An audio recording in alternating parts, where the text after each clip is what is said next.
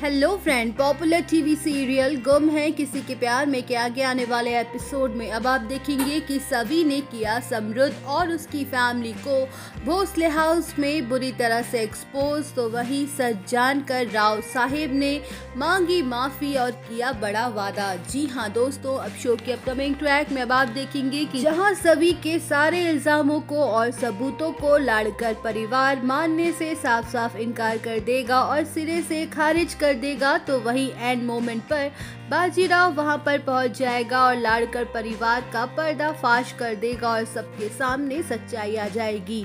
जहाँ सच के खुलासे के बाद बाजीराव समृद्ध और उसके परिवार को अरेस्ट कर लेगा तो वहीं सभी ध्रुवा को उस फ्रॉड समृद्ध के चुंगल से बाहर निकाल के जैसे ही वहाँ से जारी होगी कि तभी राव साहेब उसके सामने आके खड़े हो जाएँगे और उसे रोकते हुए नज़र आएँगे। वेल, अब शो के अपकमिंग ट्रैक में अब आप देखेंगे कि जहाँ राव साहेब अपने हाथ जोड़ते हुए सभी से ये कहते हुए नज़र आने वाले हैं कि हमें माफ़ कर देना सभी, हम सबने तेरी किसी भी बात पर यकीन नहीं किया और उल्टा तुझे ही गलत कहा। और समझा और इतना ही नहीं, तुझे बेइज्जत करके इस घर से भी निकाल दिया।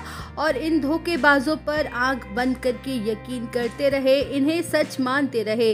लेकिन सभी, आज मैं और मेरा पूरा परिवार तेरा एहसान मंद हो गया है और तेरा ये एहसान हम अपने मरते दम तक नहीं भूलेंगे।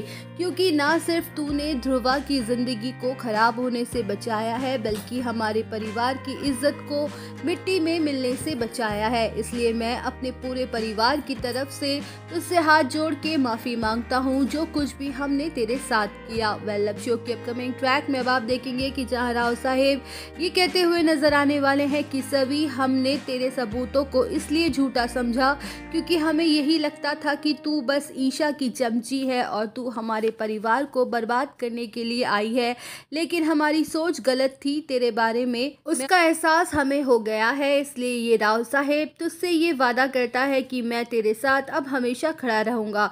तो वही दोस्तों, सभी के इस कारनामे के बाद पूरा भोसले परिवार होने वाला है। सभी का कर्जदार और ईशान के दिल में बढ़ने वाली है सभी के लिए और भी ज़्यादा इज़्ज़त। तो दोस्तों, वीडियो अच्छी लगी हो तो वीडियो को लाइक और चैनल को सब्सक्राइब करना ना भूलें।